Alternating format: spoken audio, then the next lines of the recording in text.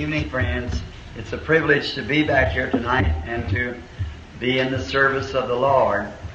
And we certainly enjoyed last night just commenting the message, a little drama.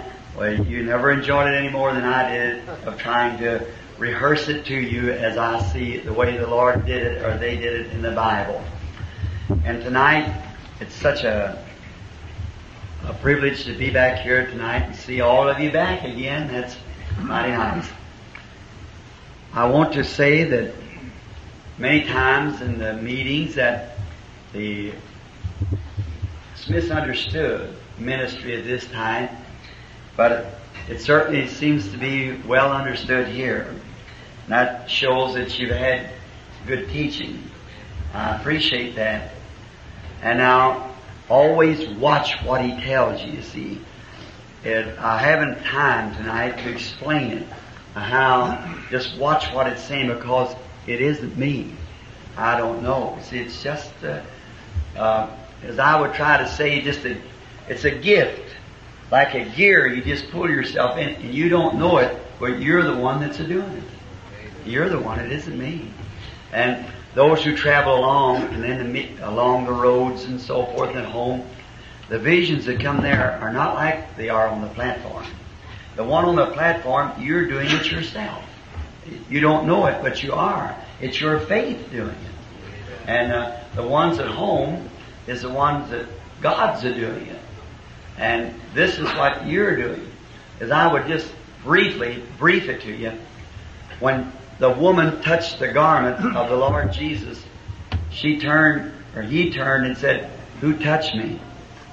And he looked around, and they, the Apostle Peter kind of scolded him for making such a remark, and he said he perceived that he got weak. Virtue went out from one little woman, and he looked around in the audience till he found her, told her her blood issue had stopped. Her faith, her faith had did it.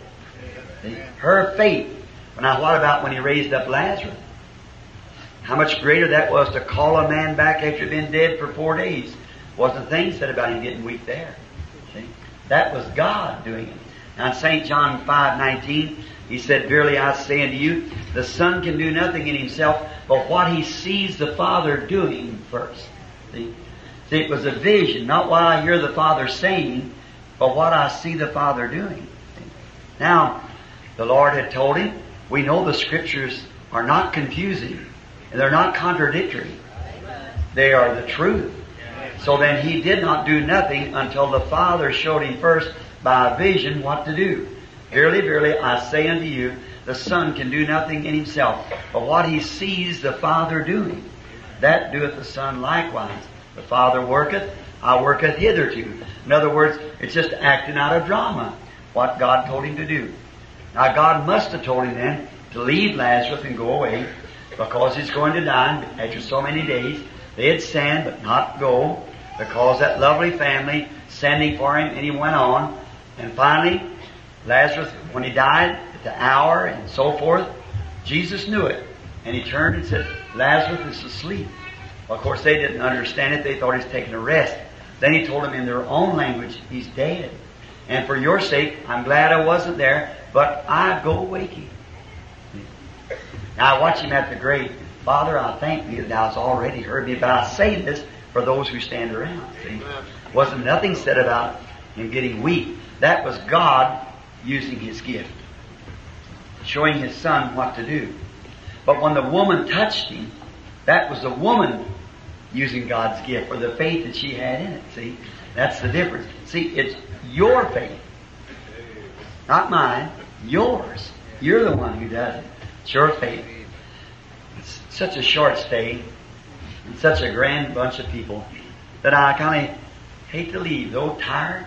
But I've got to, and I know tonight they got a, a baptismal service and so forth here at the church. Brother Ned Iverson, my friend and brother, is going to take over the service uh, now and carry on for a, a while. And I certainly would recommend him, recommend that you come here. And so then, tonight after service, we got let out early enough for that. And I have to go to my motel and get ready and leave hours before day in the morning and drive 700 miles in order to get started the next morning at home, 3 or 4 o'clock at home, and in order to be next week at the Cow Palace in Los Angeles, have to drive across with my family. I haven't got no more days but just traveling, one and two days between the meetings until this coming September. And it's a pretty big order, so you pray for me. And uh, I'm not too big, and if I was as big as your pastor here, I believe I could just go day and night. Now, I ain't telling you to run him day and night, but uh, but uh, little brother Ned said today when I was talking with him, the pastor said, "I wish I could transfer some of my strength to you." Oh, well, that would be good. he's so big and strong. And I was always little. When I used to work for the public service company, I'd come up the steps and and the operator at the top, the switchboard, Mrs. Ehalt, she said, Billy, I can always tell when you're the company. She said, you're the smallest man that works for the public service company and the most noises. I said, well, Edith, I have to make a lot of noise, let people know I'm around. so, now, I believe all the brethren has been introduced, I think, all the way along the line. And one little brother that I left off at the other meeting. And that's a little Methodist boy that was a dyed-in-the-wool Methodist out of the seminary and, and uh, got a brother that's a very prominent figure in Asbury, Wilmore, Kentucky. And this boy and his family has come out and receive the baptism of the Holy Ghost, preaching the full gospel. That's Brother Collins, Wilbur Collins. Where are you at, Wilbur? Uh, Wilbur Collins somewhere back in the back. Would you just like to give us a word from there or come up here? I'd like somebody to see a Methodist got the Holy Ghost besides Brother Neville over here. I'm here to just say a word for us. And uh, I guess Brother Junior Jackson, he's been introduced, have you, Brother Jackson? Another Methodist, died in the wool, and uh, with the baptism of the Holy Ghost. Amen. Brother Collins, I've known him for a number of years. Sweet, precious Christian, a real man of God. He and his, his wife and families all under the order of God's order of the Bible. Brother Collins. God bless you. Thank you, Brother Branham. I'm not going to take much time because I'm here for the same purpose you are to hear the word of the Lord. But I do want to say that I'm thankful to be one of them. Amen. You know, that testimony service last night did me a lot of good. I just thought when he got those disciples uh, hiding in the bushes, you know, behind the leaves, listening to that conversation between Jesus and the woman at the well, I thought, yeah, I, I used to hide behind the leaves. They were Methodist leaves. Uh, but I came out from there and found that uh, uh, God was precious and whosoever will can receive the promise of God. Which y'all to pray for me as I go from place to place. Thank you. You. That's very fine. Now, the Methodist people here, uh, we don't mean that you're not a Christian, see? But you know what the Pentecostal church is? The advanced Methodist church. See? And uh, Jack Shuler, many of you know him, you find Methodist. Jack told me one time I come to Phoenix, and I was going to Madison Square Garden, he was out the school auditorium, and I called him up, I said, Jack, I didn't know you were here. He said, Brother Branham, I didn't know you were coming. And uh, he said, I'd have got out of the way. I said, I wouldn't have come if I knowed you were here. I said, well, Brother Jack, I said, most of the people comes to my meeting are Pentecostal. He said, well, you got my group. I said, I thought you were a Methodist. He said, well, don't you know what a Methodist is? And I said, no. He said, uh, uh, a Methodist, uh, a Pentecost is an Orthodox Methodist. and all of you know, probably many of you know Jack and old man Bob and them. They were real Christian people. I was in a, a Lutheran college, Bethany, where I'd been caught on the carpet, oh my, just digging me up. He's one called me a polished up soothsayer. And then the Lord kind of got at him about it a little bit, you know, and so he called me up to apologize. We went down into a, a basement where they set a nice big dinner, and he said to me, he said, Brother Branham, I just want to ask you some questions. First, I'm sorry I said what I said in that letter. I said, It's all right. I never even thought no more about it. He said, I want you to tell me, what in the world, uh, are we Lutherans in the race? I said, sure. He said, what, what, what have we got? I said, you got the Spirit of God. And um, I said, you know, they, for the students who couldn't pay their way through, so they had about a thousand acres there of corn, so they just worked their way through. So they said, I said, a man one time planted a corn crop. And he went out and the next morning there's two little leaves sticking up. He said, praise the Lord for my crop of corn. I said, now brother Eggery, did he have a crop of corn? I said, well, uh, not yet. I said, potentially he did, didn't he? He said, yes. I said, that was you Lutherans. I said, by and by them two little blades growed up, and a while it made a tassel. That was the Methodist. They looked back down and said, no more use for you. You're just a leaf, I'm a tassel. And after a while, some of the pollen fell off of there down back into the leaf again, and it brought forth an ear of corn like the original grain that went in the ground. I said, that was a Pentecostal. I said, but see, it's got the original grain. I said, we got a lot of fungus on the ear, but yet there's some grains there too, you know. But then, I said, and I said, now, the Pentecostal church is the advanced Lutheran. he saw it. He said, well, Brother Branham, we, we read of it, and said we went down and said we seen the Pentecostal jump and shake and kick over the chairs. Said what's what's he got? I said the Holy Ghost. He said, well, what makes him do like that? I said they have to let off the steam. See, and um, and I and he said, do you believe in that? I said, sure. But to see the thing of this, the Pentecostal church, and where the only fault I find with them is they let it out the whistle instead of putting it on the wheel and making it roll. when somebody says something against you, if that grace of God stand there to love them anyhow, that's what that, that steam work there. See, and uh, and going out in the street and bringing others in and so forth. Let that that the steam work right there. I like to hear it blow too, you know, but Wait till we get to the crossing, then. Let's make it roll the way down the track real fast. And so, they, um, I've been graciously invited back your pastor, and maybe the Lord willing this fall, when I come back, I come up a few more nights this fall. And Brother Bigby, I asked him to get that article again that he wrote. Well, I've had everything said about me. You know, I've been called everything from an incarnate Son of God to the lowest of the devils. And um, but I think his expression was just he expressed it from his heart. It wasn't flattery. It was just what he thought. And I I certainly appreciate that. It just about, about the best article I ever had of myself, and I had several of them there. But each one come in. Can I take this, Brother Branham? And the first thing I'm out of it. See. So I asked him if he'd try to get me another one of those because there's a, some more books coming up, and they're they're going. To, I want the article in it with his name. And um, by the way, I think they got some books out the back. I think Brother Wood and them, and the tapes and so forth, as the out the back as you go out. And now we're I'm soliciting all your prayers. I go across praying for people, and then I'm the one that needs prayer. You, maybe you wouldn't hardly understand that, but that's the truth.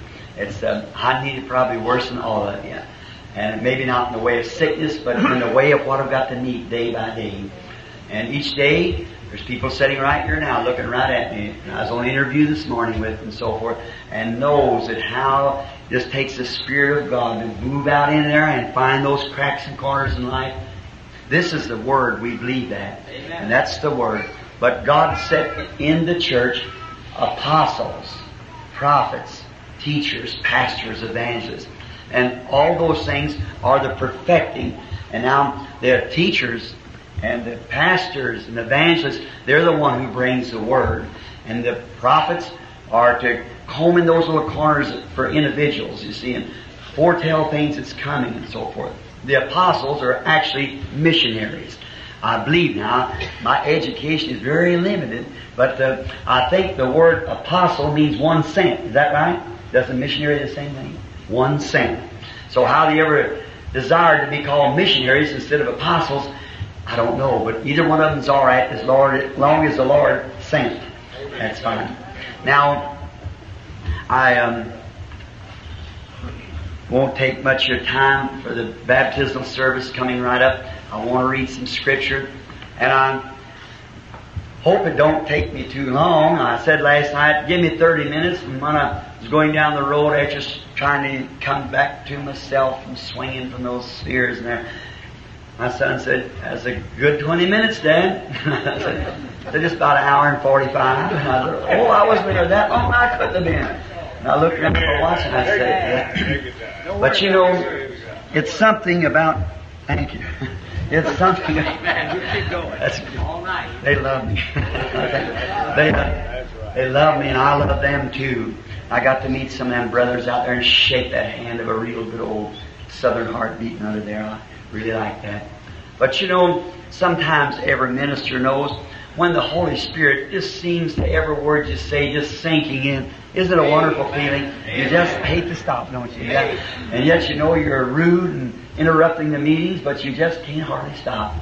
It reminds me, I've got two little girls at home, and they're pretty good girls now, pretty good size. One of them is 16 years old, the other one's 12. One of them is Rebecca, and the other one is Sarah. And Sarah's the little fella. Well, a few years ago, and I was coming in from a meeting, and they're both daddy's girls. Oh my, you know how I am. A little boy, little Mm, talk about a, little, he said he's going to be a preacher. I said, honey, you got a lot of reforming to do if you do. And uh, so Joseph. And so the girls were quite small yet, and they were waiting up till about midnight for me to get in, and I was tired, been driving all two or three days coming in from California. And when I got home, of course, the little girls had got sleepy and done gone to bed. Mother was waiting up. So I laid down to try to sleep, and I just couldn't do it. You know, shaky and nervous and things from the meeting, the impact, souls, and realizing all that responsibility holding the purchase of the blood of Christ before you. It's not just an easy thing. Brethren here know what it is. How you, I think every minister should stay by himself a long time before entering the pulpit to come out in the freshness of the Holy Spirit because he's got the purchase. See, I've often thought what I would do with two drops of the literal blood of Jesus and now here we have before us the purchase of His blood. He gave His blood for you. And we're handling that audience. Oh my, better be real sure. And um, just as reverent as we can be. So I was real nervous, as we all know what it is. And I couldn't sleep, so I, my wife waited up long, so she was sleeping. I got up and went and sat out in the chair out in the living room. About daylight, I was sitting there thinking about the meeting and wondering back what some of the visions was and so forth. And all at once I heard a turnover down there in the girls' room, right down a little hall there at the parsonage. Now look, Becky, she had woke up. Quickly she thought, this is daylight, Daddy must be home.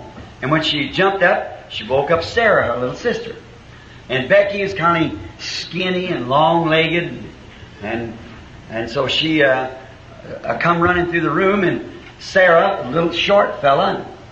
I kind of compared them and thinking of it as a church. You know, it's been a long, time here, you know, and got a lot of history behind it. And, and the other one's kind of this little short Pentecostal group, you know. They kind of hadn't been around very long. So they, and Becky come running out real fast and she jumped right straddling my lap and she said, throwed her arms around my neck and began uh, hugging me and you know how your heart feels. Well, little Sarah, she had on, I don't know where your children does, not mine gets the hand-me-downs the second.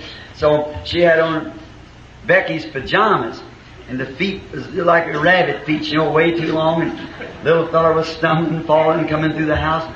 Finally she made it, and just about time she got there, Becky looked around and she said, Sarah, my sister, I want to tell you something.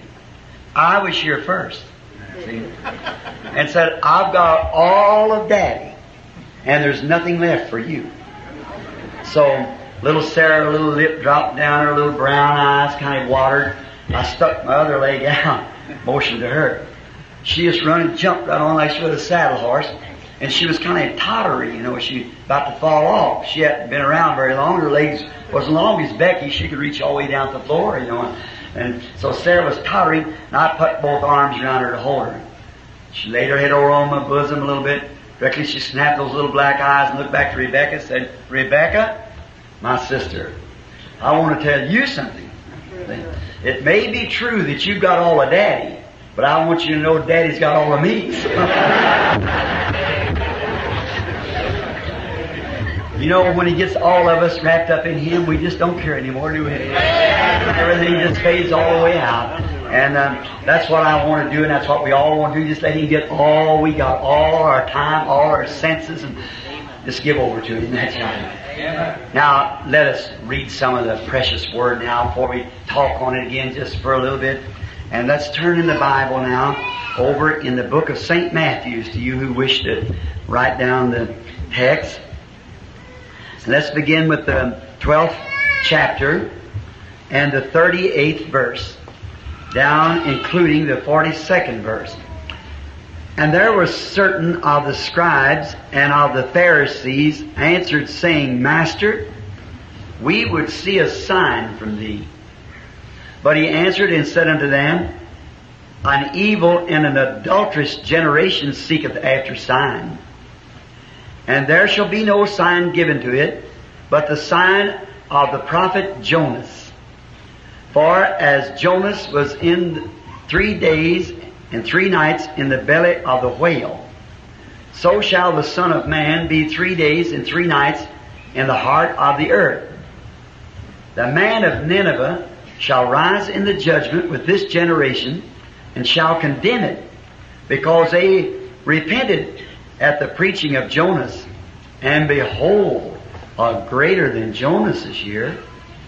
The queen of the south shall rise up in the judgment with this generation and shall condemn it.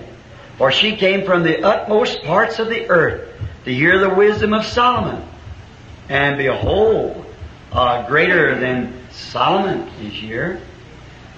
If I should call a little word that I like to draw from that, behold, a greater than Solomon is here.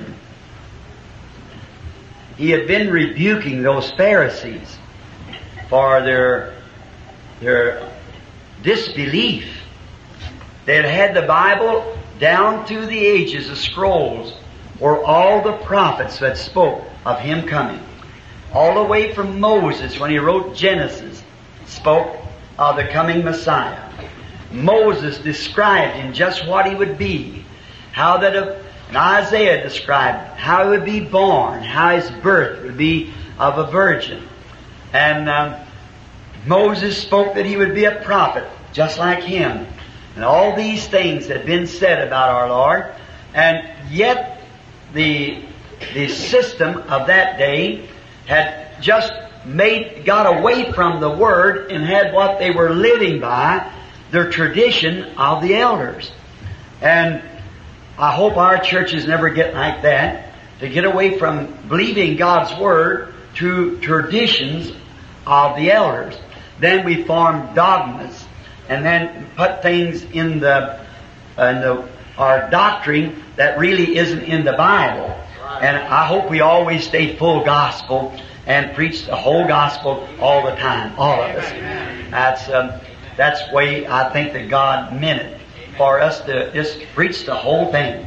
And now, as I've often said, I may not have faith to make every promise come to pass, but I sure wouldn't stand in the way of somebody who did have enough faith to do it. I've often said I'd like to have enough faith like Enoch did that I wouldn't have to die when my time comes, just take an afternoon stroll and go up home with him.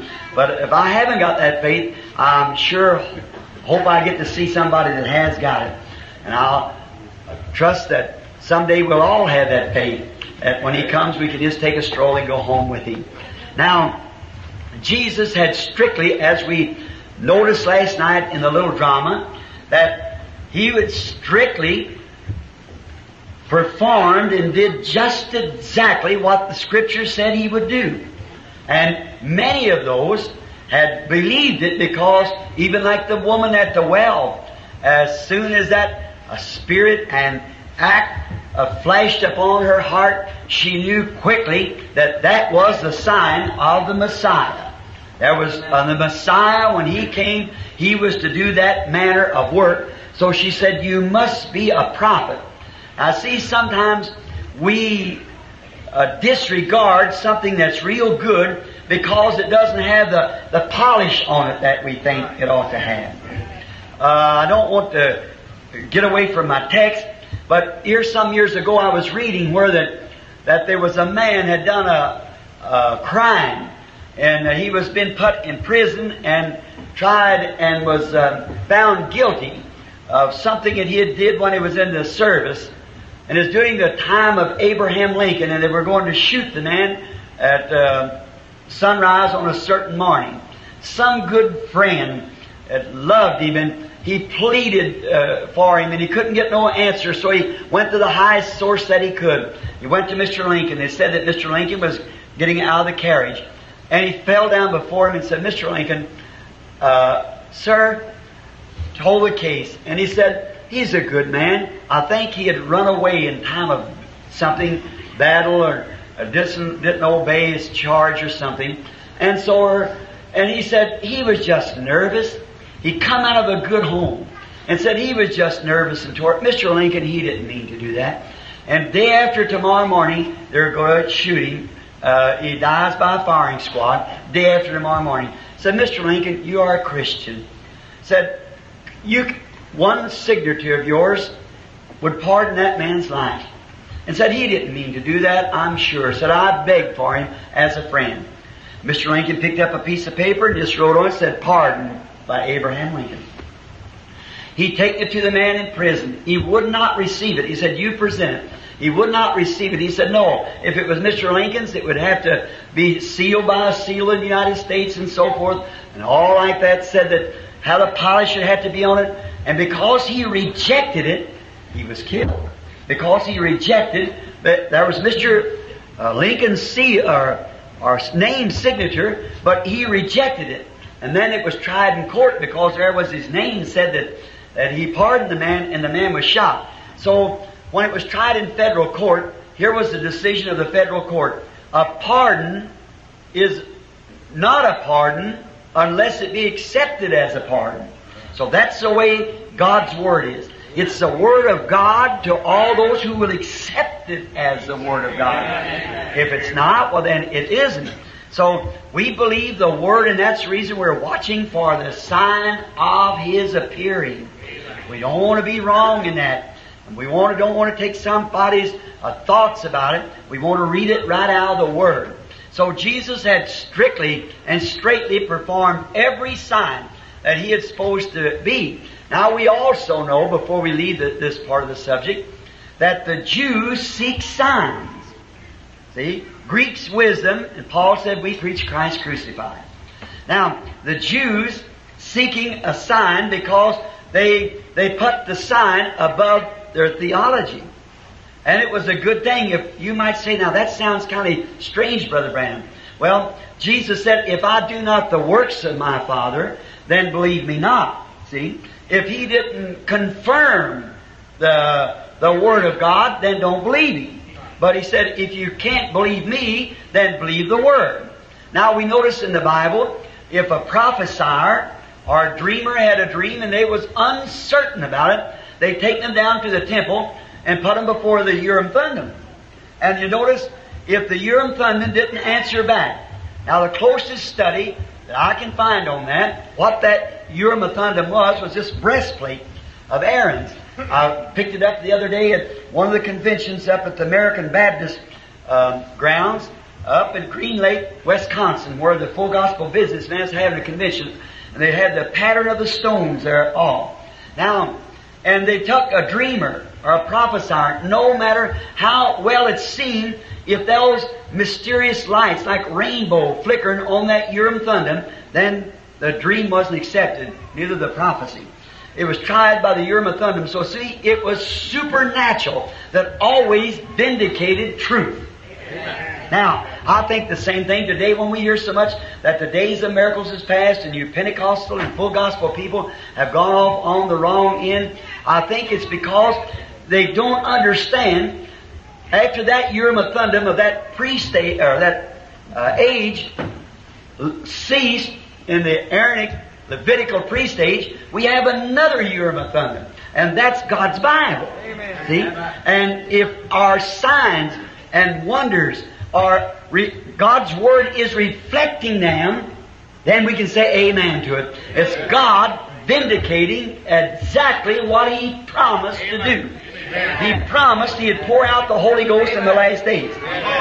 So it's just a reflection. It's, it's this Urim and Thummim reflecting itself in the people. Amen. I'm sure that's not hard to understand amongst this kind of a people. It's the, the Urim and Thummim here, the Bible, reflecting God's promises. And Jesus had reflected His office as Messiah, and they had disbelieved it. And in the following chapters, we understand that they, the, the same chapter previous to this, they had seen his works and they'd called him Beelzebub. Beelzebub is a devil. Uh, like uh, they'd see him doing those things and they thought he was a fortune teller or a witch or something. And he told them, now you're speaking against this and I'll forgive you, but when the Holy Spirit comes, perhaps to do the same thing was his meaning, to speak against that would never be forgiven then. See? Because in, in this world, nor in the world that is to come. Now, now, God in all ages always had gifts in His church. He's always vindicated His people. Wherever you see the living God, you see the signs of a living God. Now, there was Moab upon the hill, and he was offered, he had seven altars, Balaam did, and he had seven bullocks, he had seven rams. That bullock, a clean sacrifice, ram, speaking of the coming just one. Fundamentally, he was just as fundamental as, as Moses was down in the camp of Israel. But the only difference was that God was confirming Moses by a smitten rock and a brass serpent and a pillar of fire and a shout of a camp in the camp of a king in there, and God was vindicating that down there. That's the difference. That shows. Now, if we talk fundamentalism, now Cain was just as fundamental as Abel was. Both boys was wanting to find favor with God. Cain brought a sacrifice. Cain built an altar. Cain worshiped just as much sincere as Abel was, but Abel, by spiritual revelation on which the church is built, on spiritual revelation of the will and word of God, offered a sacrifice that God was pleased with. And now, I believe that's the day that we're living in now also. Now, God always had signs. Jesus here was speaking of upbraiding them cities and said, Oh, thou Capernaum, and different ones. If the signs, if the mighty works had been done in you, that uh, was done in Sodom, that been done in you, it would remain till this day. And you're exalted into heaven, but be brought down to hell. How was uh, rebuking the cities that did not receive the message. And look at the message today, how it's crossed the world. Missionaries. Oh, I believe it'll be more terrible for Sodom and Gomorrah, and it will be for the peoples and the cities and today that's rejecting the gospel. Amen. When God, with His Urim and Thummim, is reflecting His last day signs and wonders among His people. Amen. Just look what's been done in the last few years. Around the world, revival fires are going with uh, great signs and wonders and miraculous things. There can't be nothing follow that but judgment after being rejected. Now, Jesus is speaking here of some of the people in the days that God had showed signs. One he spoke of was Jonah. And uh, Jonah was sent down to Nineveh. And I always felt sorry for Jonah because many people, I think, misunderstood Jonah. Now they said Jonah was backslid and he was this, that, and the other, and I've said the same. But let's just study Jonah for a minute. I don't believe that he was backslid because he was God's prophet and he seemed to be walking out of the will of God. But the little story I want to tell you in a moment, I believe you'll see that God made it all work out just right. You know, the footsteps of the righteous are ordered of the Lord. And that gives us ministers a time a chance sometime to kind of catch our breath when we think we made a wrong move. But sometimes God's just moving with us. We think it's wrong, but maybe it's God moving. Now, Nineveh is a city much larger than this one, yes, about the size of St. Louis. And it was a, a city of heathens, and it was a great commercial city, and a great uh, city of the seacoast. One of their main occupations there was fishing, and they were idol worshippers. And their sins had become so great until God just couldn't stand it any longer. Remember, there was no sacrifice on the altar for them then, like there is for the world today. So God could not tolerate that horrible sin. So He told His prophet to go down to Nineveh. We're all acquainted with the story who reads the Bible. And said, cry out against that city. And the prophet, when he got down to the seacoast, instead of going to uh, Nineveh, he took a ship that was sailing out to Tarshish. Now, we've always thought that was a shortcut or dodging the duty. But I'm going to try to take up for that preacher tonight. And I'm going to say that I believe he was a prophet and was exactly in the will of God. I believe he followed the leading of the Spirit. I believe he was led to go that way.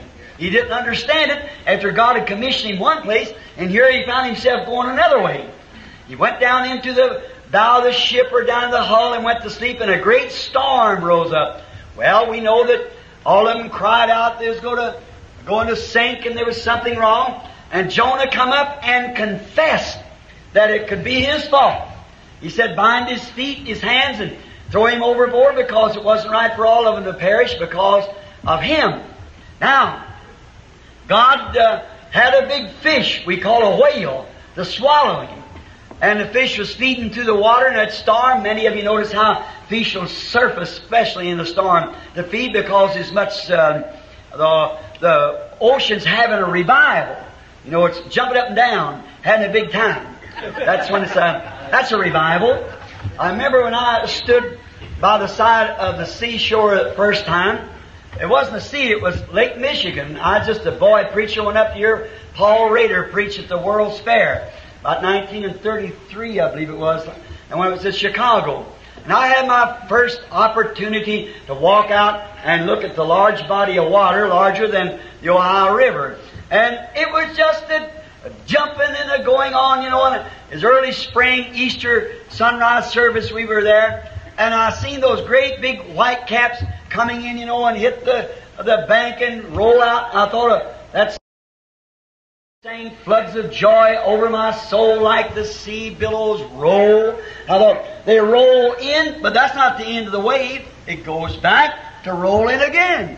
Roll in. I thought, oh, what's it jumping about? What's all? And something just seemed to say to me, it's having a revival.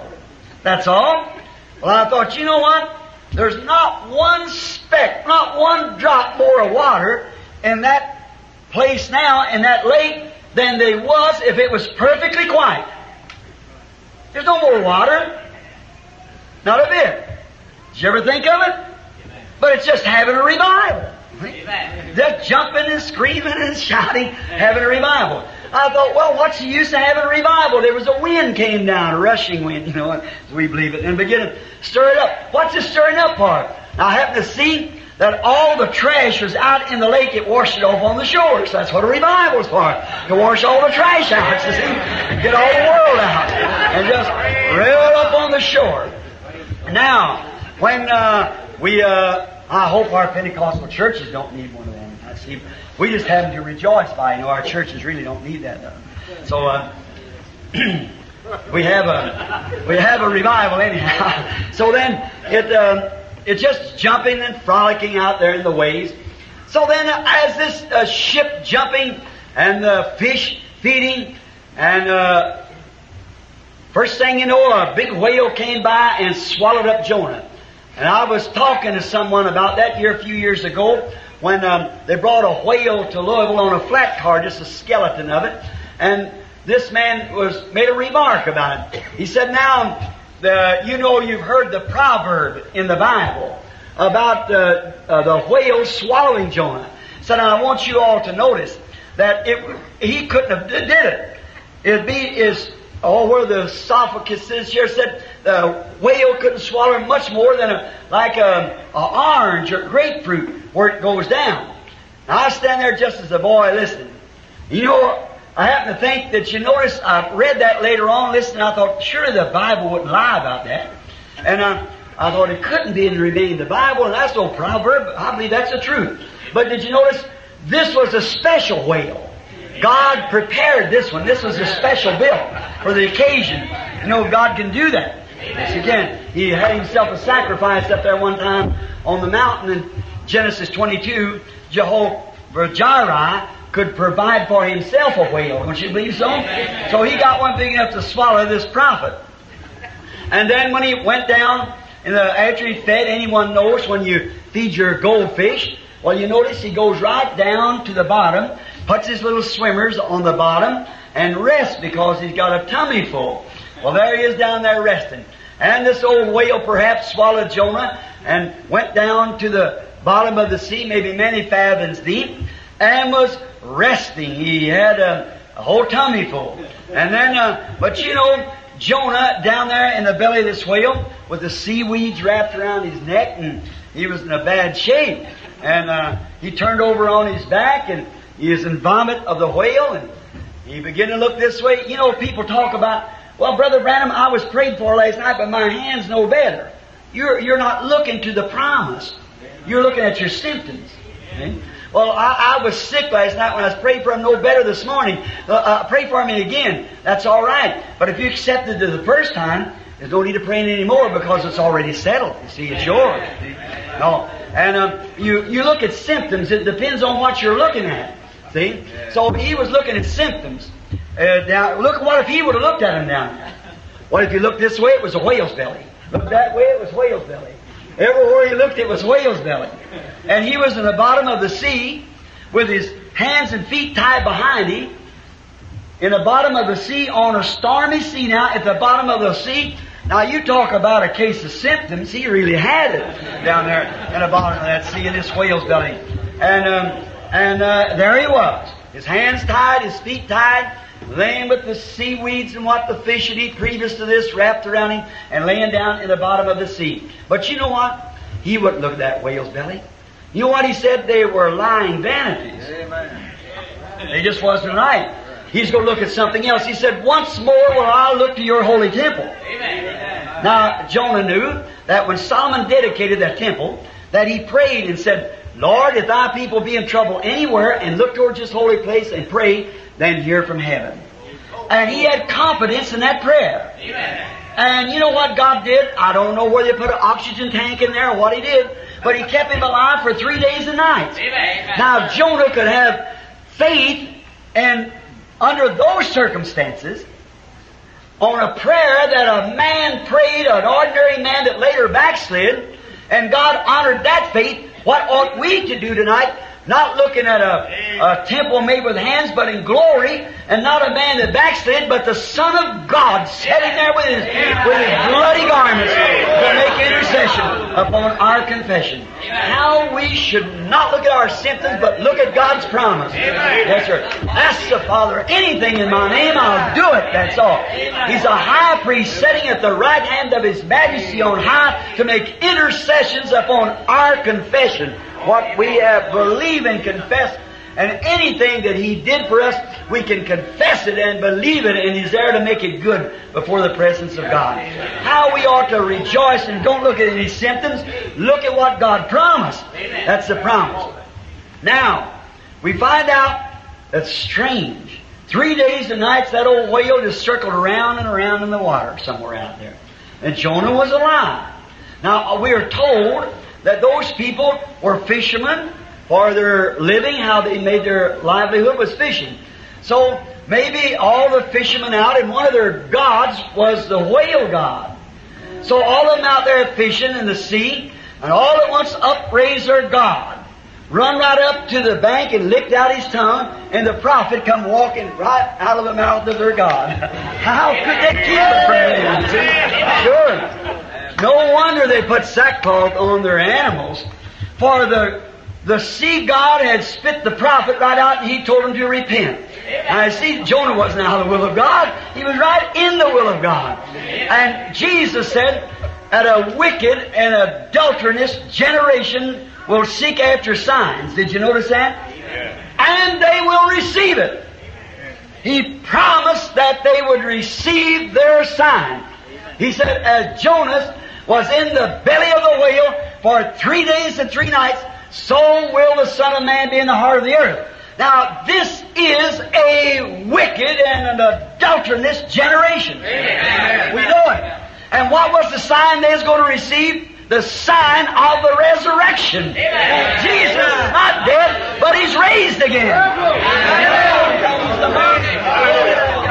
Again, great commercial cities given over to the to the enemy, over to the devil, and marrying, giving in marriage, and adultery, and perversion, and all kinds of filth that's in the earth today and unbelieving Christians, form of godliness, heady, high-minded, intellectual age. Amen. The prophet spoke of it. The Holy Ghost said specifically that in the last days there would come an intellectual age. Amen. Men would be lovers of their own selves, proud, blasphemers, disobedient, un- in, incontinent, and despisers of those that are good. You say them's communists, Brother Branham. No, sure, they're church members. Having a form of godliness, but denying the power thereof from such. So are getting the sign of Jonas. For Jesus Christ is with His people tonight, performing and doing the same thing that He did before. He was crucified, He raised again, and living with us. You, you don't understand who that is you're sitting with out there. That's a son and daughter of God. Maybe it's a good thing we don't understand it the way we do. Oh, oh while we are assembled in heavenly places, watching His Urim and Thummim of this last day, reflecting His presence as He's ready to come, He's making His appearance in the form of the Holy Spirit to hone out His church to get it ready to be received. We're so happy to know it. So I don't think that Jonah was out of the will of God. And I believe the wicked and adulterous generation seeks after signs. Now, and they, God never refused, but He always gives them a sign. Now, we find out that we come down to the next character, which was Solomon. Now, all Bible readers know that the days of Solomon was the golden age of Israel. It, they prospered more under Solomon because there was hardly any war and they built the temple and it was a great golden time uh, for Israel. And the reason when Solomon, the son of David, when he took the throne, while he never prayed that God would, would uh, give him uh, so much, but just wisdom to know how to govern and, and hold the people together. Well, now, God worked with him and he gave him a gift of discernment. True. Certainly is. And he could discern the right from the wrong and so forth. And the news scattered everywhere throughout all the world of this great. You know, if God in any age, when He sees the people and He gives them a gift and or sign, and a gift always produces a sign. That's the reason Jesus was rebuking them because he was God's gift and the sign of God's gift was being vindicated. He said, if you can't believe me, believe the works, for they speak of me. You see? And now, wouldn't it be nice tonight if all America believed God's gift for this last days? The Holy Ghost. Sure is God's gift. Now just think, if they turn that sign down and that gift, what happened? The, the nation went into chaos. If they accepted that gift, then the nation had a golden age. Now, that's the same as it is tonight. Think of every American tonight that professes to be a Christian and believe in Jesus Christ would accept and believe the gift that God has sent us in this last days, the Holy Spirit. Why, you know what? They could take every police off the force. They could just burn down the jails. We wouldn't need them no more. No, no. There'd be no more law offices and things. We wouldn't need it. While the millennium would be on. sure. But what are they doing? They are turning down the gift of God. Not only that, but like it was in the days of Noah, they're making fun of it and scoffing at it. And we're sitting sweating it out. Right. Noah had to sweat it out too. Not changing from Solomon now to Noah. But did you notice God, after Noah gave his message, God told him to go in the ark, and he sealed him up in there, and the next morning he thought it would rain. But you know, Noah went in there on the 17th day of February. But you know what? It never rained for a week. And the people sitting around there, they said, well, the borderline believers said that old man could have been right. Let's go up and see if the dust comes. The sign says there's no water up there. But he said his God could make water up there if he promised it. So he might be, let's just hang around the border. There's just so many of that kind today. Just to see what's going to happen, you see. So the said if it really does start like some water up there in the skies, clouds or something, we'll knock on the door and come in. Well, the first day Noah believed it was going to rain. So he sat and looked out that window and the sun come up and crossed and not a drop of rain. You know, and Noah began to wonder, wonder if I'm right or wrong. So then the second day passed, the third day passed. Pentecost, don't never get in your mind that you're wrong. Just sit there and sweat it out. He promised it and he's going to do it. Uh, speaking of I don't pursue me. What if the apostle said, We've waited here nine days, I believe we've got the Holy Ghost, I presume we've got it, let's go on out and start our ministry. Oh no, they waited that Bible sign appeared over there. Uh, that's it was right. And they wasn't thinking nothing, they seen God have vindicated when his Urim and Thummim began to flash out in their lives. Then Peter said, This is that which is spoken of by the prophet Joel. That's right. Because he had a scripture to back it up. And that's God's church today. And Solomon was God's great anointed one. How I'd imagine everybody in one heart and one accord. The whole nation was one heart and one accord. Wasn't that the way to be? What if all of the churches called the Church of Jesus Christ tonight were just like Israel was at that time? One heart and one accord. They didn't want to come in and say, oh, well, I don't know about old Solomon. I don't know about that. I believe he's a fanatic. What do you think about it, Jim? Oh, I believe he's a fanatic too. Go out and live under their own olive tree. No, everybody would come to the meeting. They'd say, oh, Pastor Solomon. I've never seen such in my life. Glory to God for sending the Spirit down upon us. And you know, a revival like that gets scattered all over the world. Sure it does.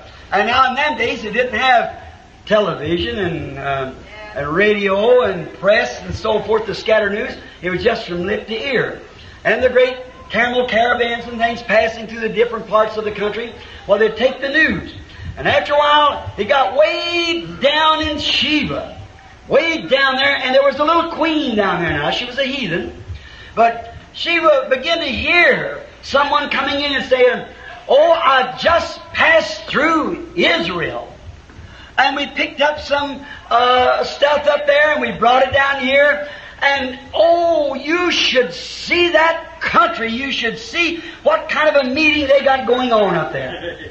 They're just one person. And you know they've got a God up there that they call Jehovah. And that Jehovah has selected himself a man and he's vindicating himself to be Jehovah through that man. Oh my, must have been a great talk. You know, faith cometh by hearing the Word of God. See? That's right. So these people saying that, way down in the heart of this little queen, she began to wonder. Wonder if all that's so. Well, wait till the next camel caravan comes through, and so the next one comes through. Have you passed through Israel? Yes, I've come that way. Is that so? They got a revival up there, the Pentecost, or the well, the Pentecost of that day, you see. Have they got a real revival? Oh, they're one heart and one accord. Open I just wish this group could get that way tonight. I tell you, Columbia have headlines in the morning in the paper. I tell you, yes, yes, wonderful. And said, "Oh, yes, that." Tell me, did you get to see that uh, man that got up there, uh, uh, Solomon? Yes. Is it true that they've got a God that makes Himself known through them? Yes, that's right. Boy, that little heart began to beat. she wanted to go. Now, I think if we would start telling how good our people was, how wonderful this Holy Ghost is. Instead of trying to run one another down, you see, to each other, I think it'd make every, you're the salt of the earth, you see. But the salt can only save when it contacts, see. So I think if we just get real salty, the world will get real thirsty. Don't you think so? That's right. Get real salty. And now, we find out that Solomon was just having a great time. And so this little queen began to hunger and thirst.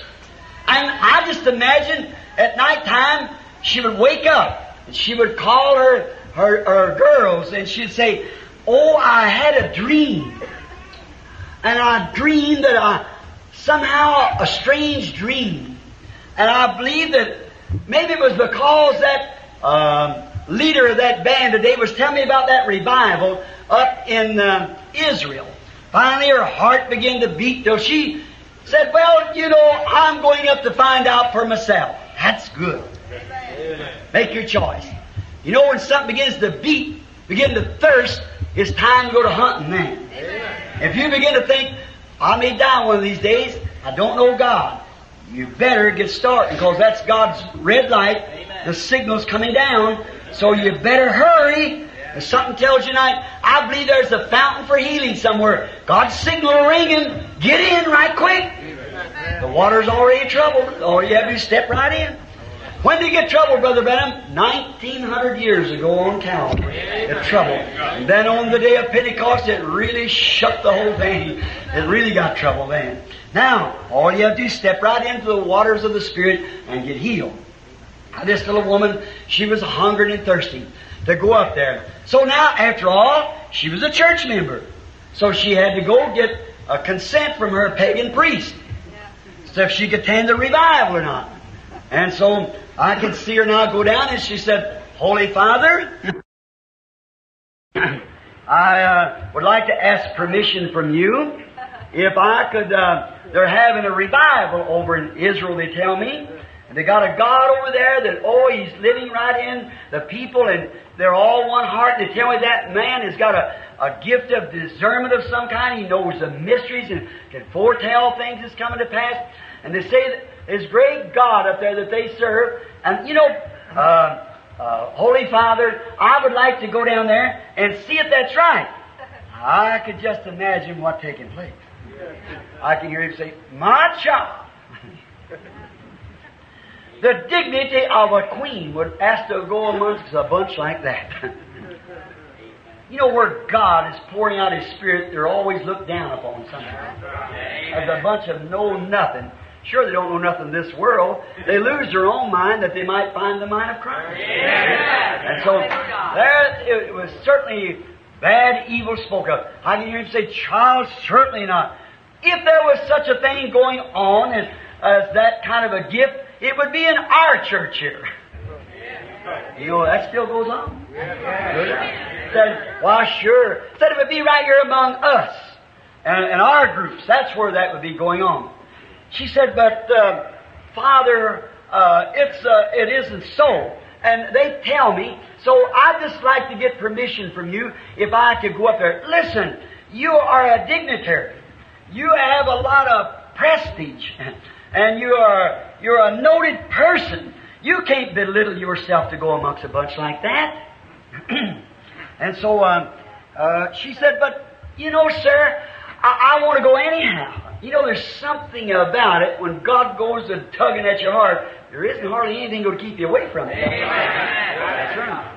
So begin to tug at her heart. You know, you must go anyhow. Well, she said, I've heard about it. That's how faith comes. Let me just go and find out for myself. I'll come back and bring you reports. You shall never have my consent. While your old dead grandmother and great grandmother and so forth as queens before you, they've turned over out there in their tombs if they knowed you did a thing like that. I can just imagine her little heart saying, well, you might as well get ready to turn over because I'm going. so, because uh, why? Faith cometh by hearing. Hearing the Word. And when God goes to tugging at a heart, there's no way to get rid of it, only go do what it tells you to do. It's the only way to do it. So here she was, tugging at her heart, and going, he said, now look, uh, you just stay here at your church, and someday maybe Great Dagon or one of our gods here will move. She said, Listen here, I want to tell you something. I have lived my time out in this temple, and all my days you've talked about a God, and I've heard my mother say the same thing, and you've got a book of rules here, and you've got idols hanging around here, and I haven't seen one thing take place. Amen. That's And if there is such a thing as a God that can come into you, you all know the form of pagan worship. I know I don't want to. I'm watching that clock up there. and I'm going to get wrong on this one. So now, a pagan worship, way they do, they bring the idol and set it up. And then they get a priest up and they bless the candle and they put this candle before the idol and they bring him something to eat and eat communion with him and then they prostrate themselves before that idol and just give in their mind in such a way till they believe that they can hear that idol speak back to them. Now that's pagan idol worship. Now that's contrary to God. Amen. See, God is not an idol, God is a spirit. Amen. And we prostrate ourselves before that, and the spirit don't come into some idol, as some so-called Christians would have us to believe, but the spirit comes into you, and you are God's house, living walking around manifesting the living God. For God dwells not in temples made with hands, but a body has thou prepared.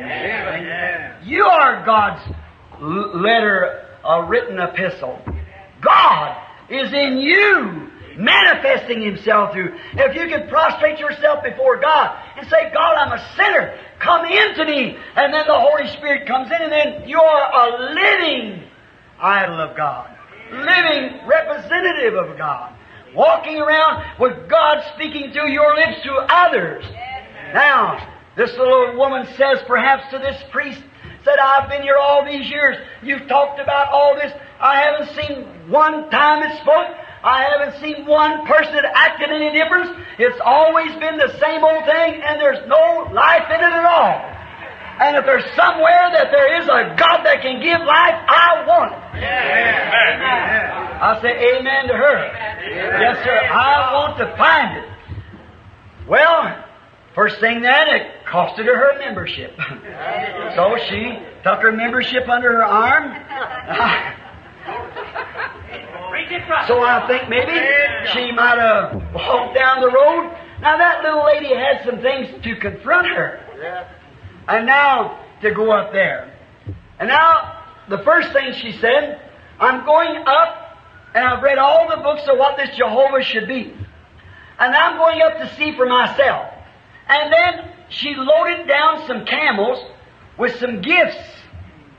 And she said, if it is so, then I'm going to support it. If it isn't so, I'll bring my money back. Amen. Boy, she could teach some of us in America some lessons. Yes, sir. Amen. If there's anything to it, it's worth everything. If it isn't, it ain't worth nothing. Get away from it.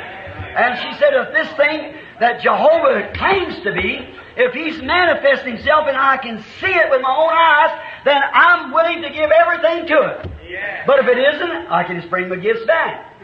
Now remember, with all that gold and stuff on them camels, she had uh, hundreds of miles to go, and you know what? Esau's children was in the desert, and they were robbers. And what an easy prey it would be with all that money for just a, a group of those robbers to fall in on that little lady and slay her and them few little guards, eunuchs she had with her, and take that money. But you know something? When you are going out to Christ and determined to meet Christ, there's no danger you understand at all. Amen. You don't care for nothing else. You've got one objective and one achievement, and that is to meet Christ. Amen. Oh, if the world would get the hunger like that. She wanted to meet Christ, and that was her main objective, or meet uh, Solomon the gift and see if it was God. And she didn't know any danger. She didn't know. Somebody said one time, uh, I seen a woman uh, got up and started shouting, and she ran around. Honest, she hurdled about four chairs. And some up and said, "Look like that woman would have broke her neck. I know she's a common little housewife down there, but I said she wasn't thinking about that. she just crossed over and she just couldn't sit down. That was all. She was running. She's on fire. I said she just had to run. And so she wasn't thinking about the danger. She was going on. Like to say, well, now, if you don't, uh, if you don't do so and so and so and so, you're going to die. You don't notice that. You take God's word for it and you just keep running on. And she had to go on. And now, remember, if you'll draw on your watch on your map from where Jerusalem was, all the way down to Sheba, that's across the Sahara Desert. And um, it just takes a camel three months to get across there. Now, she didn't go across in an air conditioned Cadillac, see. She had to cross on a camel. And taken three months to do it. Now that's when she's really hungered for God. The trouble we Pentecostal people today, we got everything laying right in our lap, and we just look at it and say, well, I guess it's all right. See? That's pretty good. But when you have to pay a price like that, you really enjoy it when you get it. That's right. There she was. She was had to cross the Sahara. And here it was. And these old camels perhaps travel at night.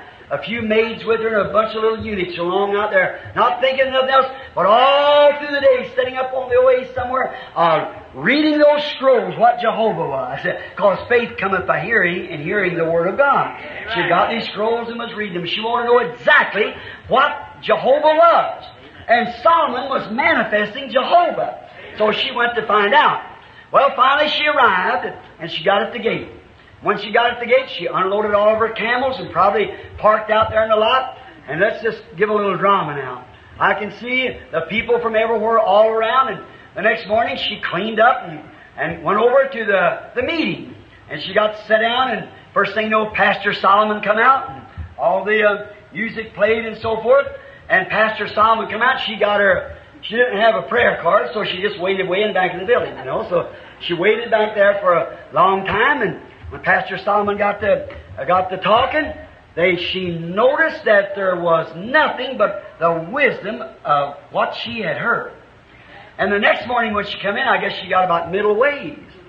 And the first thing you know, it come to pass that she got right up close. And one morning she got in the line. And she got up before Solomon. She said, now I see how, whether it's right or not. I'm just, I just something all over me tells me it's right. And the Bible said there was not any secret but what God let Solomon know about. Amen. That's right.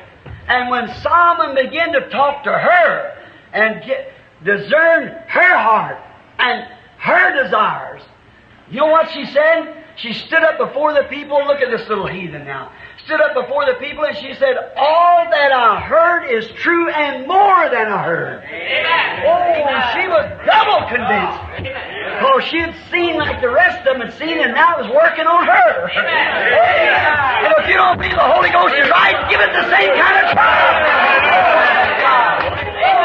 You might hear it on others. But wait till He goes to work on you once. then you'll know for sure that it is a gift of God. It takes all temper, all uh, sin, all unbelief, all doubts, all fears, even the fear of death goes away from you when the Holy Ghost comes in. Oh, it's real, friends. If you've never received it, don't let the night pass without receiving it. What a, a great thing it was. That poor little lady was so thrilled until she, she stood up there and even wanted to to take some ground back down with her. She was really become a believer. And Jesus said, The Queen of the South shall rise in the judgment with this generation and shall condemn it. For she come all the way from the utmost parts of the known world of that day, a back of a camel, to hear the wisdom of Solomon and I say unto you that a greater than Solomon is here. Where Solomon was a deserting, look how much greater that was. And now tonight, after he's been dead, buried, and risen again into glory as a high priest for 2,000 years, and the infidelic world, communistic, inspired as it is tonight, in the midst of all of it, a greater than here, a greater than all. The same God with the same promise gift, the same Holy Spirit with eternal life. What was the matter with the little lady? She had seen something for one time in her life that was real. Something that wasn't a put on, a ritual, or a form of something. She had come to a church where she's seen the moving of a living God. Now, if that little woman will raise in the day uh, Jesus is on the earth with that generation and condemn it, what about today? When she come 2,000, oh no, about 90 days, I don't know how many miles it was. It's way down. I did have it figured up once, but I know it takes a long time to get up there, about, about 90 days to get up there, three months to the desert, to hear the wisdom of Solomon, and here in America we'll hardly drive across the street. To see the power of the resurrection of Jesus Christ by a Bible, a Urim that promised that it would reflect Him in the last days, and here it is by Bible evidence. The Holy Spirit with Bible evidence has come into the church and showing the signs and powers of the resurrected Jesus now. Greater than Solomon, the immortal Spirit of God is working not just with one, He's working in the entire church, showing signs and wonders, healing the sick, raising the dead, casting out devils, speaking with tongues, giving interpretations, pouring down power, converting sinners, always showing signs of His being here, discerning the hearts and thoughts of the people that He promised He would do. And remember, the last sign that Israel got was that, and that's the last sign promised now. The last day sign. Here we are. That little queen had seen something that was real. Something that she could look at herself. And it was real. She could see the reacting of it upon that man. She knew that it was something that people today, I believe, if the church, as I said, wouldn't blow so much steam from the whistle, but would put it to work and hunger and thirst to get the people around where such things are going on. See? They want to see something real. They just don't want to come in and put their name on a book. The people that are hungering and thirsting for God is coming to find something real. I remember not long ago, I might have told you this little thing. As you know, I'm a hunter, or I just like to hunt. I'm not a hunter. But I hunt in Africa, India, and everywhere around the world. My mother was a half breed. And she, and my grandfather was a noted hunter. And so I always loved it. The first thing I ever bought, I dropped sweet potato plants all day, and got a quarter, bought me two steel traps, and I was in business. And uh, I, I caught me a possum and sold that hide, and I got me some more traps, and I went in real business then. Now I was about eight years old. And I've been hunting ever since. Now, I used to go up in the north woods and hunt, way up north. And I used to hunt with a good hunter up there by the name of Bert Call. He was a real hunter. Didn't have to worry about him. Many times you take fellow in woods and you don't watch, if you don't really know directions and how to read signs, moss on trees and so forth, you'll have to look him up for a day or two. You get turned around, just right out a little piece, but not Bert. And that flat country up in there around Maine and so forth, he knew just where he was at. We'd go hunting of a morning, and he, he never had to worry. If we separated, he, Bert would be there that night. That's all. And um, so we loved to hunt together. There was only one thing against Bert that I had, and that was he was the meanest man I ever seen. He had eyes just like a lizard. Had, you know, scraped out like some of these women try to paint their eyes. These ladies think you're uh, funny looking. Don't look like an ordinary human being. And um, he had kind of a slanted lizard looking eye. And he was mean, and uh, you know, he used to go out with me hunting, and he would he would shoot those little fawns uh, just to make me feel bad. And I said, Bert, now it's all right. I ain't nothing against uh, killing a fawn now to you hunting brothers, you see. No, sir, if the state says you can have it, all right. Because the conservation watches that to see if they got enough they can let it go like that. And there's nothing wrong in the, the age of the animal. Abraham killed a calf and God ate it. That's right. So don't think the use, but just to be mean. That's it. Just to do it to be mean. I think that's just murder. And um, I wouldn't kill anything like that.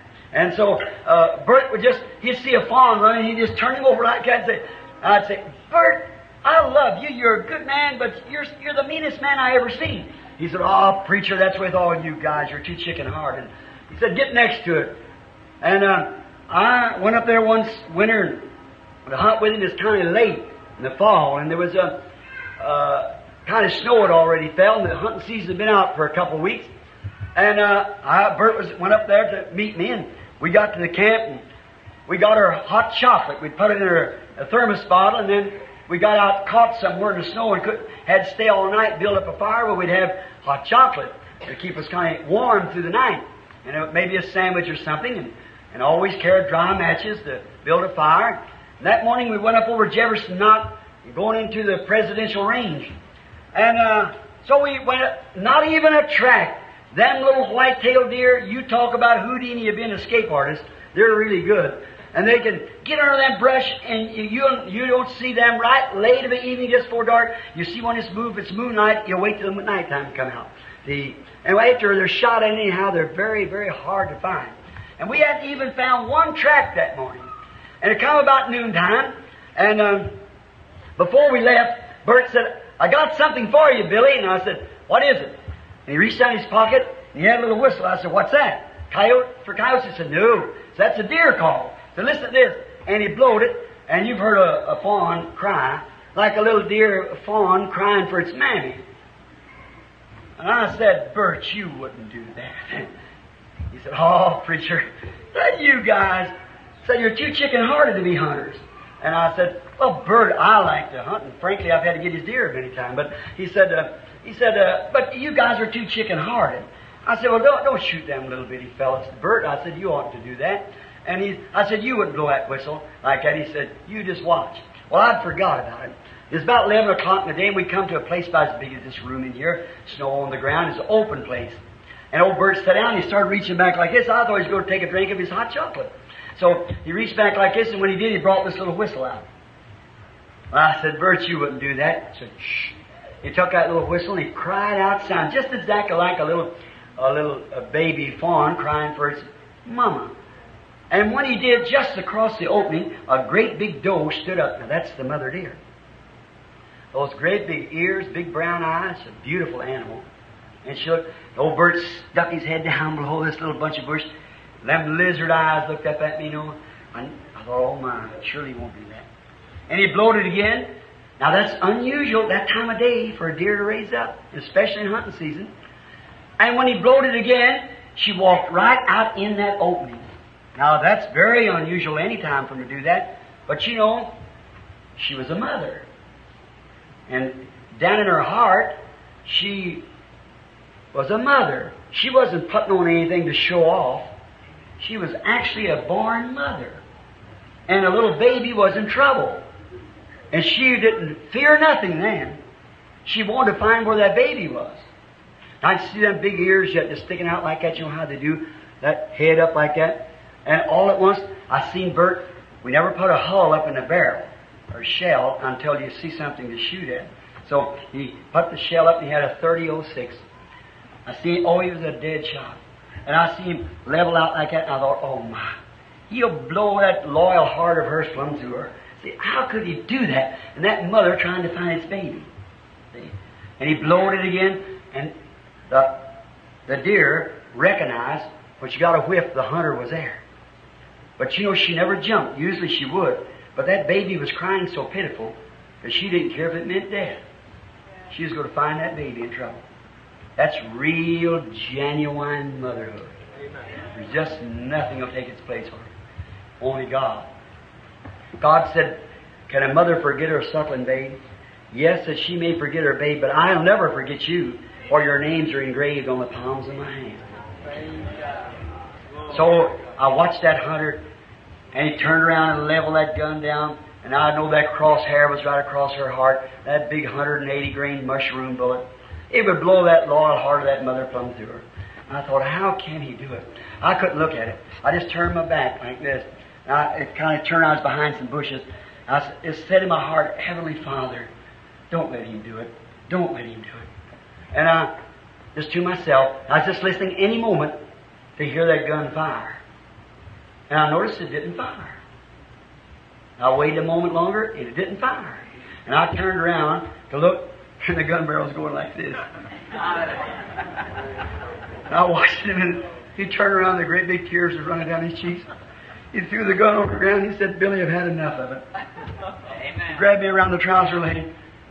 He said, I want you to pray for me and lead me to that Jesus that you're talking about. What was the matter? What was it? He had saw something real. He saw something that wasn't put on. He saw something that was genuine. He was satisfied. That's what you want to know. Something real. Something not a form put on, but a real God. Real love. Real action. Is that what your heart hungers for? Let's bow our heads and talk to Him just a moment. I wonder now, with our heads bowed just a moment, think just a moment. How many of you here tonight, I'll be honest, how many of you would like to be the same kind of a Christian in your heart? As much Christian as that deer was a mama. Just raise your hand. Say, I'd like to be that kind of a Christian. God bless you. Something that would drive me right into the jaws of death, and my love for Christ would move right on. Undying love. I love Him with all that's in me. He sees your hands. Our Heavenly Father, truly a greater than Solomon this year, a greater than any of the prophets this year. The Holy Spirit is here, the gift of God to the world. And He, for hundreds and hundreds of years, He could not get His way into the church, but in this last day, He promised that He would have a church without spot or wrinkle. And we see Him tonight moving. Now He come into us speaking with tongues. He came into us in joy. And now He keeps getting greater gifts and He heals the sick. And now He's raised the dead. And here He is, the, the Word of God. He is the Word. The Word was made flesh. And now the Word of God is uh, sharper than a two-edged sword. It's even uh, going to the sunder of the bone and the mire and a discerner of the thoughts of the heart. The Holy Spirit. And tonight, this little story about Bert and I up there, Father, just live like the world, and the world can't see no difference in them than the rest of the run of the world. You're able to take an old mother deer, bring one of your children to his senses. I thank you for it, Lord. And I pray tonight that the Holy Spirit will just fill every heart with love and peace. And let us see the hand of our God far truly a greater than Solomon this year. And now you promised in the last days that you would do this, as it was the days of Noah, and as the days of Sodom, and then you dealt with the Jews and the Samaritans in that day. The Gentiles has had 2,000 years of training, and now at the end time, you couldn't be just, Lord. And then let the Jews just had to see that sign and have to turn it down. And then they were turned down. Now, Father, if you gave that to them and let the Gentiles go in just on theology alone, you're not that kind of a father. You're the same. You give one of your children the same as the other. You love them all. And each generation, each dispensation receives its sign and gift through the age. And now, Father, we know that we're thankful tonight to have the sign of the Holy Spirit, the resurrected Jesus getting His church ready. Bless us tonight. Give us of Thy presence. We ask in Jesus' name. Amen. With our hearts to Him. and I'm sorry to have kept this long. I'm really a half hour late. I told Billy I'll be gone by 9.30. And so the brethren can baptize and so forth. We got to crawl out in the morning about 3 o'clock. Now, that makes me, to think that, it makes me nervous, and that's the reason I chop up my message what I do. You forgive me for that. But I trust that the Holy Spirit has said something in your heart that'll make you believe. That's right. Make you believe with all your heart. Now, we could call, I think we got a few prayer cards out. We could call those prayer cards up here and pray for them. Or we can do any way we want to close out the meeting. Or would you just rather to give everybody the equal a, a chance? Let's just pray then and ask the Heavenly Father and anyone out there that's got faith enough to touch Him. Amen. Would you like to do that? Will you believe you got faith enough to do that? Raise your hand. Here we are. Yes, that's right. You see, friends, where I'm sticking myself? Sticking myself out here, here it is. There's people. I don't know them. But now I'm saying here that that God knows them. And I, when they come to see the wisdom of Solomon, and then when they come to see the working of Jesus, now remember, God cannot change. He's God always. What God ever makes, that's my faith in the Bible. If God ever makes a decision on anything, it has to ever remain that way. It can never change. Because He can't have, uh, today, every one of His decisions are perfect because He's infinite. You know what infinite means? You know when you take your camera and put uh, infinite? Uh, this means from man on. Well, God is infinite. See, that's where the word infinite comes. Now, He He never did start, so He never does end. And anything that ever started ends. Amen. So that's the reason we have to be born of the Spirit of God, to have God's life in us, have eternal life, which the Greek word Zoe means God's own life in us, and that life can no more die than God can because it's a part of God, the infinite. And that's His Spirit. Now, if His Spirit worked upon Solomon's age, it worked in the age of the Lord Jesus and promised it here in the last days, it's the same God. He promised it. You believe that? You believe it, my brethren? That's good. I wish I could take all of you with me in these meetings. Such good backing up as that. God will just do anything when He got plenty around you. That's right. You all be sure if we come back this fall, come on over, every one of you. See, and let's have some fellowship again. Have several nights of meeting. Till then, pray for me.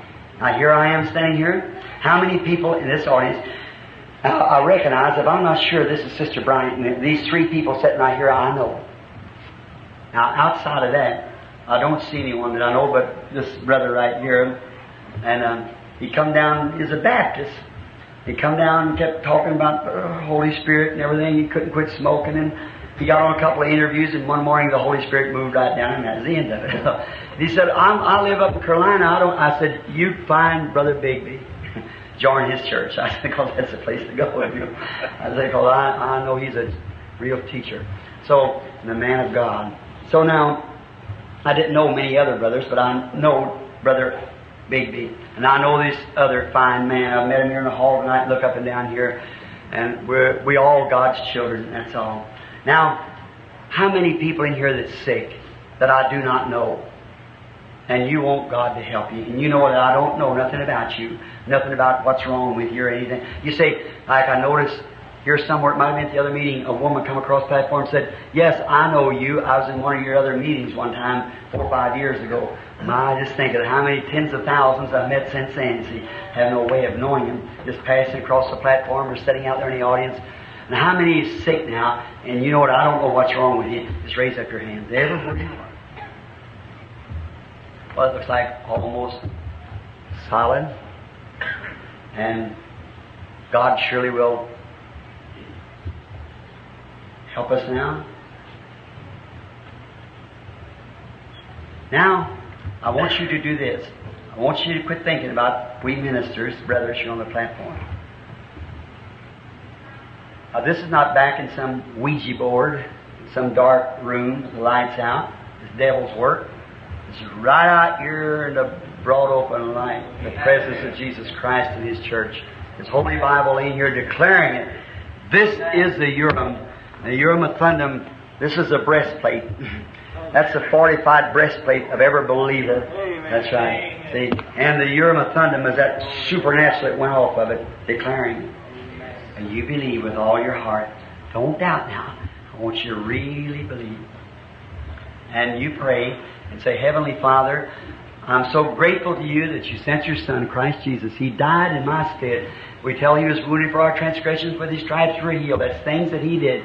He's sitting at the right hand of the majesty tonight to make intercessions upon my confession. I've just heard Brother Branham tell in the last couple nights that the Word of God was sharper than a two-edged sword and it was a discerner of the thoughts of the heart. Now, when you were here on earth, you were the Word made flesh and dwelt among us. We know that. You were the Word. And now we believe that the Word has come in the form of the Holy Spirit to vindicate the written Word, to make it right. Now, a woman touched your garment one time, and, and your Son, Jesus Christ, turned around and picked the woman out and told her her blood issue. A blind man stopped him, and so forth and on, on and on and on as we go through the scriptures. And now we see that you said, He that believeth on me, the works that I do shall he do also. Now that's what he said. Is that right, brother? Amen. We want to believe that. Now let's all believe it with all of our heart. And all of you pray for me. Now each one of you just pull your unbelief out, put it under your feet, and curse it in the name of the Lord Jesus, and take the Word of God and hold it up there and say, I'm a believer. I'm, I'm going to believe it with all my heart. I don't say that he will. If he doesn't, I, I can't make him do it. You know, he's just he's God. See? I, I just I just believe it.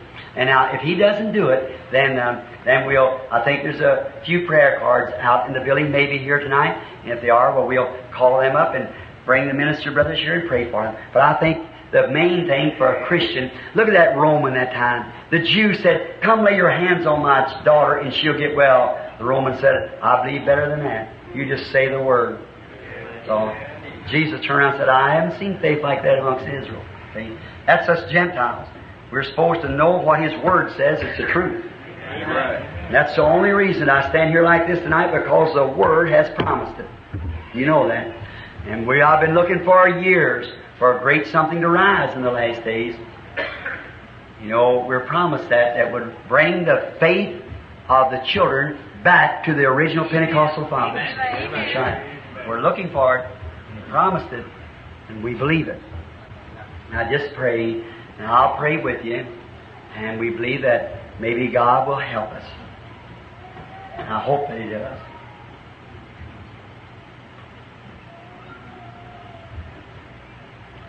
I see it's right over a woman sitting here. She's looking at me, but she's sitting right here.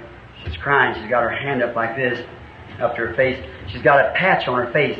That could be a stick that hit it. It could be anything. You believe God can tell me what it is from here? Would you accept it? It's cancer. You believe that God will make it well? Will you accept it? All right, sir. Then you can do it. Amen. The little lady sitting there with a dark sweater on, put her hand down, had her finger up to her mouth. You had your hand up a few minutes ago that you was here wanting prayer. Do you believe that God can reveal to me what your trouble is? You do? And if you'll believe it with all your heart, then your heart won't bother you anymore. And you'll be well. You believe that your heart troubles go beyond? All right, sir. Just the only thing you have to do is believe. So. Now, I don't know those people. They're strangers. Now, do you believe me? Here's my hands up, my Bible here. I, as far as I know, I've never seen them in my life. They're just people that's sitting there. Here. Oh, what a feeling. Praise God, brother. The Holy Spirit. Look, I pray you try to see this. Look right there beside that woman. Look at that light right there. See that kind of a milling soft glow light coming right down on her? Did you see it? Look. Just this lady sitting right there. She's praying for a son. Trouble with the mind. That's right, isn't it, lady? Raise your hand up if that's the truth. Just have faith. Thank God. That struck the lady next to you. There it moved right from that lady over to the next one. You all got a prayer card? You have a prayer card? No, you don't. All right, so you don't need one. The lady next to you there, the light's right over by her. Just look this way towards me, sister, just a moment. You believe me to be his servant? Yes. It's your daughter.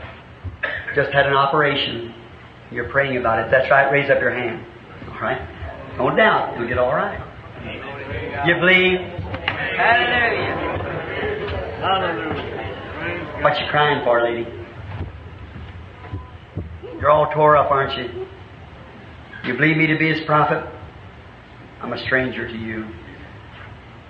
Don't cry. Hey, look, lady, don't you do it. Don't do it. Now, I won't say it, but you're trying fixing on to do something, and don't you do it. It ain't worth it. Right. Leave it alone. Don't you do it. Keep away from it. Get away, ignore it. It'll come out all right. Don't never take a life, because it won't work. Stay away from it. You believe that I'm His servant? Amen.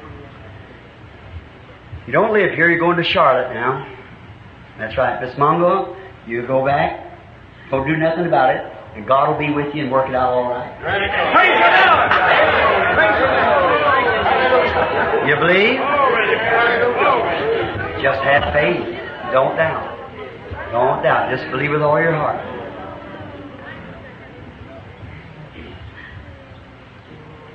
Way back.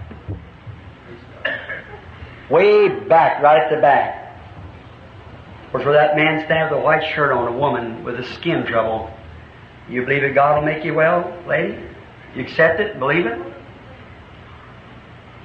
That's right. Right, there she is. Just stand up on your feet so you can just praise God for it, and that'll lead you. Amen. You have a prayer card? You you don't need one. When you got faith like that, you don't need a prayer card. That's going to leave you because the shadow that was standing right there over you has left. Here's a lady sitting right down this away.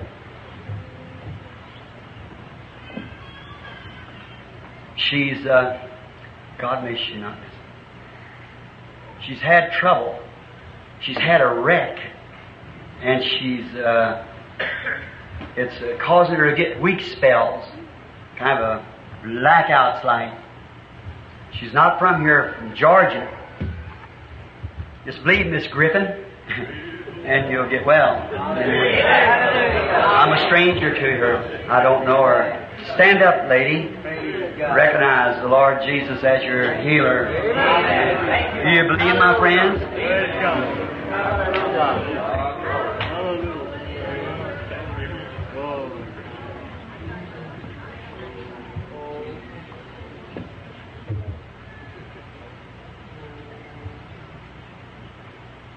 Lady sitting right back here praying.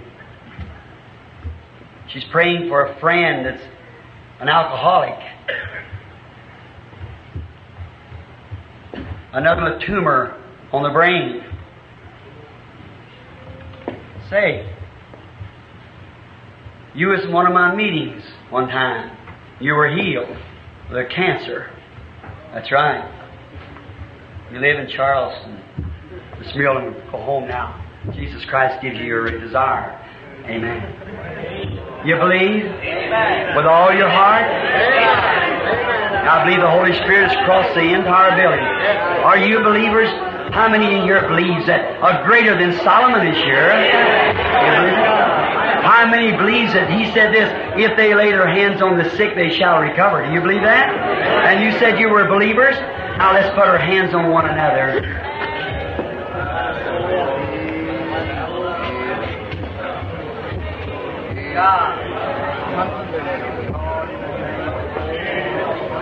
Our Heavenly Father, we are bringing this audience to you. We've been speaking of the great gifts down through the ages. And here we are, bound in heart by the Holy Spirit. And the Holy Spirit is here with us, uh, manifesting Himself, showing that, that the church is receiving its last sign just before God turns and takes the church into glory. Now let these believers, may the Holy Spirit look down on the hearts of those believers that's got their hands on someone else praying for them. You said the prayer of faith shall save the sick. God shall raise them up. You said these signs will follow the believers. If they lay their hands on the sick, they shall recover. And we've been taught through the years that wherever two are gathered together or three, you would be in the midst of them. And here you are tonight, Lord, just as real as you was when you come with Cleopas and them and broke the bread and they recognized you by a sign that you did before your crucifixion. They know you'd raised from the dead. And they went to their places light-hearted, rejoicing and saying, Truly the Lord is risen. Now, Lord God, I pray that you will go with us, Lord. May the power of the Holy Spirit free every person that's in here tonight that's down with any affliction. As I'm joining hands with this ministerial group here, as your servants, believing for this audience, and we are in one accord in one place, and the Holy Ghost is here to heal the sick and the afflicted. Oh God, may the power of the devil be broken, and the Holy Spirit fall upon this audience and cast away the evil spirit of unbelief in the name of Jesus Christ.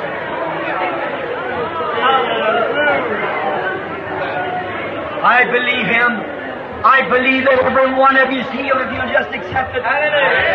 We ministers here on the platform are joined hands together with one unit of prayer. We believe with all our heart in this Christ that's manifesting Himself here before us. What is it? It's the Urim of Thummim being made manifest to the Word, the Holy Spirit, and the last day sign before the earth is barren. Oh, hide yourself in Christ tonight in His promise and be made whole, every one of you. All that will believe it, stand up to our feet now as we raise our hands to Him with one accord. That's right, that's right. My faith looks up to me. Thou Lamb of Calvary.